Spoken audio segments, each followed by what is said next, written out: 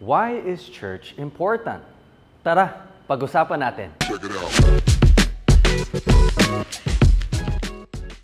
Kung titignan natin ang history of Christianity, from the biblical times to probably around 19th to 20th century, this question never crossed the minds of the believers because they knew and understood na importante ang church. However, in our century, this question is asked dahil maraming Christians ang hindi naniniwala na importante ito. Many have become coffee shop Christians, yung mga kontento na manood ng sermon online at mag-aral mag-isa.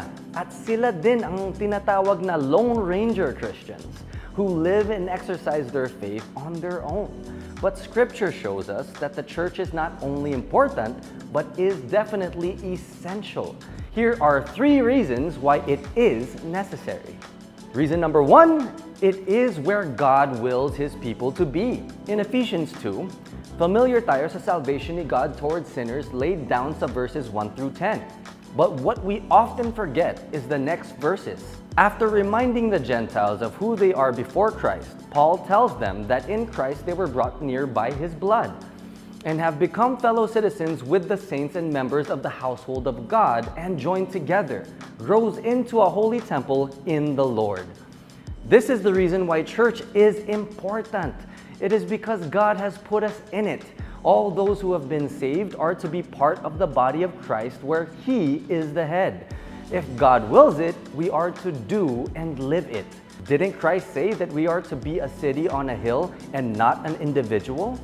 The second reason why church is important is because it is the means of God to dispense His grace. San ba normally pinapreach ang gospel? It is in the church. The pastor who was called by God to shepherd his sheep proclaims God's word faithfully to sinners and through preaching, God grants faith to believers. Aside from the preaching of God's word, dito din na-administer ang baptism and Lord's Supper.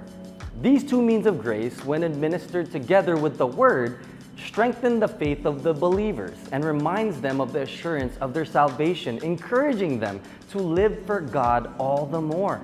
God's grace is ordinarily given through these ordinary means. Reason number three, it is where believers are built up. In Ephesians 4, Paul tells them that Christ gave gifts to the church, which are the apostles, the prophets, the evangelists, the shepherds, and teachers. At para saan? Sabi ni Paul sa verse 12, to equip the saints for the work of ministry for building up the body of Christ. It is in the church that believers learn how they are to contribute to the ministry through the gifts granted to them as Paul enumerates in Romans 12, 3 through 8 and 1 Corinthians 12. By doing so, believers are able to build up the church, the body of Christ. Believers are put in the church because this is where he learns how to live a holy life and be protected from falsehoods. Can you imagine a solo Christian growing in faith on his own?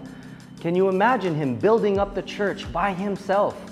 Can you imagine a believer being protected from the attacks of the enemies and all its deceits?